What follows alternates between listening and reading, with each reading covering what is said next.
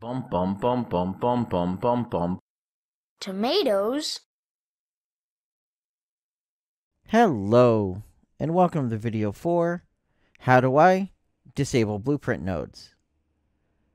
This is a small little example. If we hit play, we can find that it says starting up actor in the top left, and then it does some logic. We can see the code here.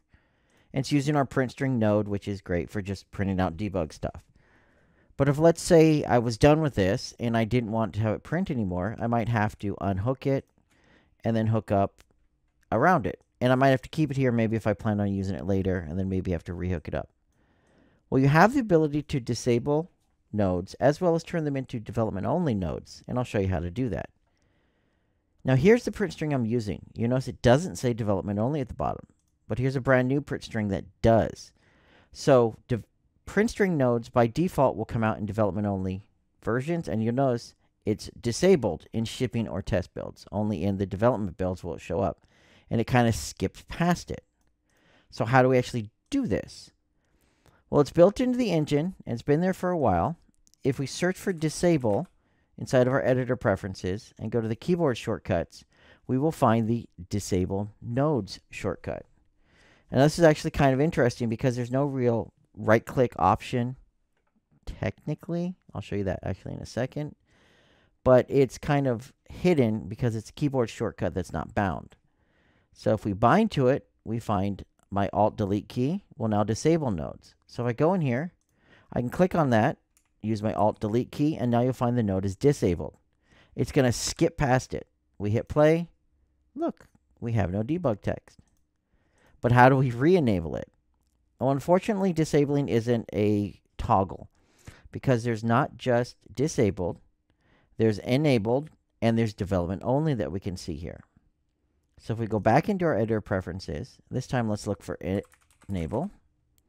We'll scroll down and you can find here we have the enable nodes. Enable nodes, enable nodes always, and enable nodes development only. Now, enable nodes, I think, is an older one that doesn't really do anything anymore now that we have the always in development option. So if I go back in and I push my hotkeys, you can find that I've now toggled this into development only. If we hit play again, it's going to show up because we are in test mode and development mode.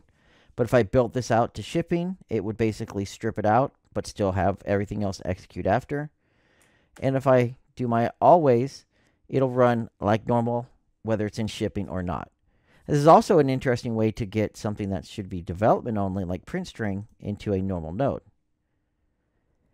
Now, I mentioned earlier, technically it's hidden away as a hotkey. Well, it's also hidden away as a right-click menu. If we go back into our editor preferences, let's go under the blueprint editor, down under experimental, under advanced, we have allow explicit impure node disabling. So if we click on that and go back into our blueprint editor, now in the right click menu, we have compile options. Disable, do not compile, same thing as our hotkey, or enable compile always and development. You can actually see those hotkeys I set up are showing there. So I can go back in, enable development only, and now our print string works like normal, or we could right click, disable it, or enable it for always mode. This of course works with other nodes as well, like custom events, this is just a quick and easy way to disable the execution of nodes without having to disconnect them.